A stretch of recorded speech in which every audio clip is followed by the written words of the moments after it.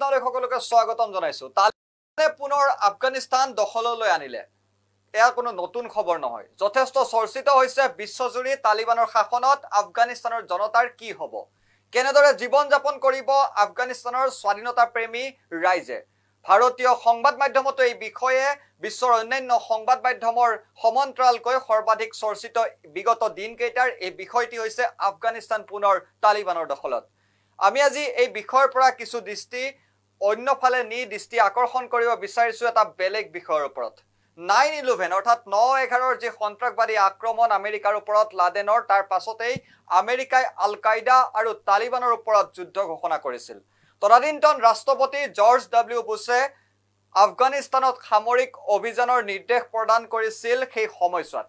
পুঁজিবাদী ৰাষ্ট্ৰ আমেৰিকাই আন এখন পুঁজিবাদী শক্তিশালী ৰাষ্ট্ৰ গ্ৰেট ব্ৰিটেইনৰ সহযোগত আক্ৰমণ কৰে আক্ৰমণ আৰম্ভ কৰে বোমা বৰ্ষণ কৰা আৰম্ভ কৰে আফগানিস্তানক। কিয়নো আফগানিস্তানে আল কায়দাৰ মুখ্য যিগৰাকী নেতা লাডেনক উলিয়াই দিবলৈ অমান্তি হৈছিল। আৰু তাৰ পাছতেই নৰ্থ এটলাণ্টিক ট্ৰিটি অৰ্গেনাইজেশ্যন অৰ্থাৎ চমুকৈ যাক নাটো বুলি কোৱা হয় নাটো নামৰ পুঁজিবাদী ৰাষ্ট্ৰসমূহৰ দ্বাৰা গঠিত শীতল যুদ্ধৰ সময়ছোৱাত গঠিত এই সংস্থাটোৱে এই সংস্থাটো জড়িত হৈ পৰে তালিবানক উৎখাতৰ উৎখাতৰ বাবে আফগানিস্তানত। কিন্তু এই ক্ষেত্ৰত বহুলাংশে ৰেহাই দিয়া হয় পাকিস্তানক। আৰু অৱশেষত আমেৰিকাই প্ৰধান শত্ৰু ওছামা বিন লাডেনৰ সম্ভেদো পৰৱৰ্তী সময়ছোৱাত পাকিস্তানতেই লাভ কৰে। কিন্তু আফগানিস্তানৰ দৰে অচলাৱস্থা পাকিস্তানত নকৰিলে আমেৰিকা বা পুঁজিবাদী শক্তিৰ দ্বাৰা গঠিত নাটৈ কাৰণ পাকিস্তান ভাৰতৰ চিৰবৈৰী আৰু ভাৰতত এশ চল্লিছ কোটি জনগণৰ দৈনিক প্ৰয়োজনীয় বজাৰখনৰ প্ৰতি পুঁজিবাদী উদ্যোগপতি ৰাষ্ট্ৰসমূহে খুবেই দৃষ্টি দিবি আছিলে আৰু খুবেই জৰুৰী তেওঁলোকৰ বাবে ভাৰতৰ বজাৰখন। গতিকে এই উপমহাদেশীয় অঞ্চলটোত বিবাদমান হৈ থকাটো তেওঁলোকৰ বাবে অতিকৈ প্ৰয়োজন। কাৰণ জনগণৰ চিন্তা সন্ত্ৰাসবাদ চিৰবৈৰী সীমা বিবাদ আদিৰ প্ৰতি ধাৱমান হৈ থাকিব আৰু ইয়াত পুঁজিপতিৰ বজাৰখন সিমান দিনলৈ যিমান দিনলৈকে এই চিন্তাবোৰ থাকিব মানুহৰ মাজত সিমান দিনলৈ সুৰক্ষিত হৈ থাকিব তেওঁলোকৰ বজাৰখন। এতিয়া আহোঁ আজিৰ প্ৰসংগলৈ আমেৰিকাই সামৰিক হস্তক্ষেপ আফগানিস্তানত কৰাৰ পাছতেই তালিবানক উৎখাত কৰে কাবুলৰ পৰা। এই ক্ষেত্ৰত আফগানিস্তানৰ স্থানীয় ৰাজনীতিবিদ হিচাপে হামিদ কাৰ্জাই এই ক্ষেত্ৰত আছিলে যথেষ্ট ভূমিকা। তেওঁ আগভাগ লৈছিল আমেৰিকান শক্তিক নিজৰ দেশলৈ অনাৰ বাবে আৰু তালিবানক তালিবানৰ দখলৰ পৰা কাবুল মুক্ত কৰাৰ বাবে। দুহেজাৰ এক চনৰ ডিচেম্বৰত জাৰ্মানীত অনুষ্ঠিত ইণ্টাৰনেশ্যনেল কনফাৰেন্স অন আফগানিস্তানত হামিদ কাৰ্জাইক আফগানিস্তানৰ চেয়াৰমেন নিযুক্তি দিয়া হয়। অৰ্থাৎ আফগানিস্তানৰ সলনি পুঁজিপতি ৰাষ্ট্ৰৰ হস্তক্ষেপত হামিদ কাৰ্জাইক আফগানিস্তানৰ শাসক নিযুক্তি দিয়া হয়। ইয়াৰ পাছত হামিদ কাৰ্জাই দুহেজাৰ দুই চনৰ পৰা দুহেজাৰ চৈধ্য পৰ্যন্ত ৰাষ্ট্ৰপতি পদত অধিষ্ঠিত হৈ থাকে আফগানিস্তানত। কিন্তু তেওঁৰ কাৰ্যকালৰ শেষৰ ফালে আমেৰিকা আৰু নাটোৰ সৈতে সম্পৰ্কৰ অৱনতি ঘটে আৰু তেওঁ শাসনৰ গাদীৰ পৰা আঁতৰিবলৈ বাধ্য হয়। ইয়াৰ পাছতে পুঁজিপতি ৰাষ্ট্ৰৰ এক অন্যতম হাতিয়াৰ হিচাপে বিশ্ব বেংকৰ লগত জড়িত আশ্ৰফ ঘানী ৰাষ্ট্ৰপতি পদত অধিষ্ঠ হয় আফগানিস্তানৰ। আব্দুল্লাহ আব্দুল্লাই যদিওবা অধিক ভোট লাভ কৰিছিলে আশ্ৰফ ঘানীতকৈ আমেৰিকাৰ হস্তক্ষেপত আশ্ৰফ ঘানীকেই আফগানিস্তানৰ ৰাষ্ট্ৰপতি পতা হয়। তেওঁ পোন্ধৰ আগষ্ট পৰ্যন্ত ৰাষ্ট্ৰপতি হৈ থাকে আফগানিস্তানত। ইয়াৰ মাজতেই আমেৰিকা আৰু তালিবানৰ মাজত ঊনত্ৰিছ ফেব্ৰুৱাৰীত এখন শান্তি চুক্তি সম্পন্ন হয় চলিত বৰ্ষত। হয় অস্ত্ৰৰে ক্ষমতা দখলত বিশ্বাসী তালিবানৰ লগত চুক্তি স্বাক্ষৰ কৰে আমেৰিকা যুক্তৰাষ্ট্ৰই।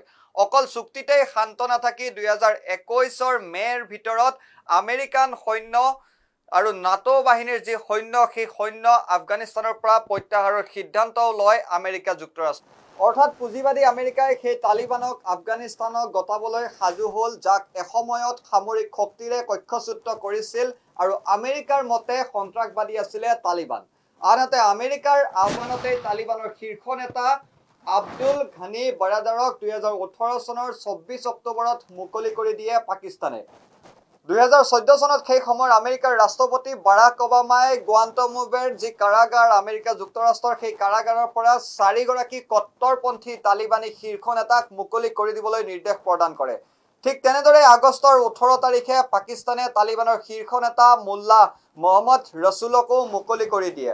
ইয়াৰ মাজতেই আমেৰিকাৰ হস্তক্ষেপত তালিবানৰ সৈতে আফগানিস্তান চৰকাৰে আলোচনা কেইবাবাৰো ব্যৰ্থ হৈছিল যদিও পৰৱৰ্তী সময়ছোৱাত তেওঁলোকে চুক্তি স্বাক্ষৰ কৰিবলৈ সক্ষম হয়। এঘাৰ আগষ্টত তালিবান আৰু আফগানিস্তান চৰকাৰৰ মাজত আলোচনা পুনৰ অনুষ্ঠিত হৈছিল। কিন্তু ইয়াৰ মাজতেই তালিবানে সামৰিক শক্তি প্ৰদৰ্শন কৰি পোন্ধৰ আগষ্টত আফগানিস্তানৰ ৰাজধানী দখল কৰে আৰু ছেপ্টেম্বৰৰ সলনি তেতিয়াই আমেৰিকাই সৈন্য প্ৰত্যাহাৰ কৰিবলৈ সিদ্ধান্ত লয়। আফগানিস্তানৰ ৰাষ্ট্ৰপতি আশ্ৰাফ গানী পলায়ন কৰে আৰু ৰাষ্ট্ৰপতি ভৱন এতিয়া তালিবানৰ দখলত আছে। এতিয়া সমগ্ৰ ঘটনাৰাজিত আমেৰিকা আৰু আন পুঁজিবাদী ৰাষ্ট্ৰ নীৰৱ দৰ্শক। সমগ্ৰ বিশ্ব এতিয়া নীৰৱ দৰ্শক আফগানিস্তানৰ প্ৰতি। পণবন্দী হৈ পৰিছে সাধাৰণ আফগান জনতা। কিন্তু পুঁজিবাদী দেশসমূহৰ অভিভাৱকত্বৰ সুলভ ভংগীমা কৰবাত থমকি যেন ৰৈছে সেই কথা প্ৰতিপন্ন হৈছে। এতিয়া কথা হ'ল তালিবানৰ এই প্ৰত্যাৱৰ্তনৰ ক্ষেত্ৰত পুঁজিবাদী আমেৰিকা যুক্তৰাষ্ট্ৰ জড়িত নহয়নে? আমেৰিকাৰ হস্তক্ষেপত তালিবান পুনৰ ক্ষমতালৈ আহিবলৈ সক্ষম নহলনে আকৌ পুঁজিবাদী ৰাষ্ট্ৰ আমেৰিকাই এই সমগ্ৰ ঘটনাক্ৰমত কেইবাটাও বিষয় স্পষ্ট কৰিছে এই সমগ্ৰ শেহতীয়া প্ৰায় এসপ্তাহৰ ঘটনাক্ৰমত। পুঁজিবাদী শক্তিৰ প্ৰতীক হ'ল আমেৰিকা যুক্তৰাষ্ট্ৰ। কিন্তু বিগত বিছ বছৰে সামৰিক হস্তক্ষেপৰ পাছতো আফগানিস্তানত এটা সুস্থিৰ পৰিৱেশ আৰু শাসন ব্যৱস্থা প্ৰৱৰ্তন কৰিবলৈ সক্ষম নহল আমেৰিকা যুক্তৰাষ্ট্ৰই। অৰ্থাৎ পুঁজিবাদে কোনো দেশ নতুনকৈ নিৰ্মাণ কৰি এটা সুস্থিৰ শাসন ব্যৱস্থা প্ৰৱৰ্তন কৰিব নোৱাৰিলে আফগানিস্তানৰ ক্ষেত্ৰত। পুঁজিবাদে জনগণক আশ্বস্ত কৰিব নোৱাৰিলে এক শাসন ব্যৱস্থাৰ প্ৰৱৰ্তন কৰাৰ ক্ষেত্ৰত। পুঁজিবাদে অস্ত্ৰৰ বলত ক্ষমতা কাঢ়িলেও তাৰ জনগণৰ লগত তাৰ জনগণৰ লগত এক মিতিৰালি কৰি জনগণক লৈ শাসন প্ৰৱৰ্তন কৰিব নোৱাৰিলে আফগানিস্তানত। অৰ্থনৈতিকভাৱে পুঁজিবাদে কোনো সুস্থিৰতা বিকাশ আনিব নোৱাৰে যাৰ বাবে চৌসত্তৰ লাখ কোটি খনিজ সম্পদ থকাৰ পাছতো আফগানিস্তানৰ অৰ্থনীতি বিছ বছৰেও পুঁজিবাদে শক্তিশালী কৰিব নোৱাৰিলে।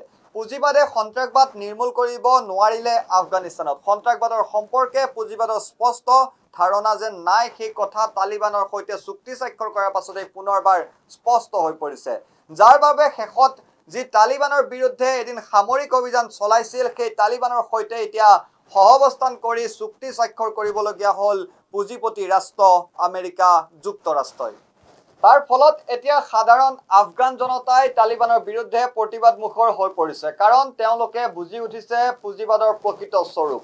আৰু বিশ্বজুৰি সমালোচনাৰ সন্মুখীন হ'বলগীয়া হৈছে আমেৰিকা যুক্তৰাষ্ট্ৰ গ্ৰেট ব্ৰিটেইনকে আদি কৰি অন্যান্য পুঁজিবাদী ৰাষ্ট্ৰসমূহ।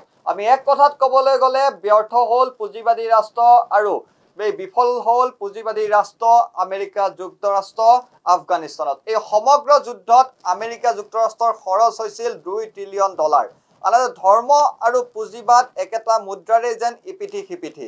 আমেৰিকাৰ পুঁজিবাদী শান্তি প্ৰক্ৰিয়াই ধৰ্মীয় মৌলবাদকে যেন প্ৰশ্ৰয় দিলে আফগানিস্তানত।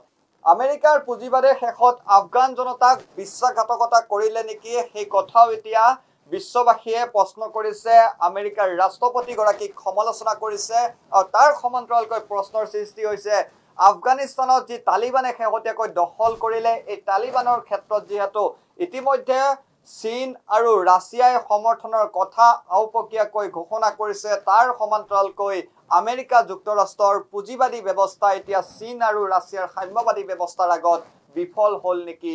চীন আৰু ৰাছিয়াৰ যি সাম্যবাদী চিন্তাধাৰা যি সাম্যবাদী ৰণকৌশল সেই ৰণকৌশলৰ মাজত পৰাজিত হ'ল নেকি এখন নতুনকৈ শীতল যুদ্ধৰ সেই দ্বিতীয় শীতল যুদ্ধত পৰাজিত হ'ল নেকি আমেৰিকা যুক্তৰাষ্ট্ৰ? ধন্যবাদ আপোনালোকে চাই আছিলে নিউজ নাও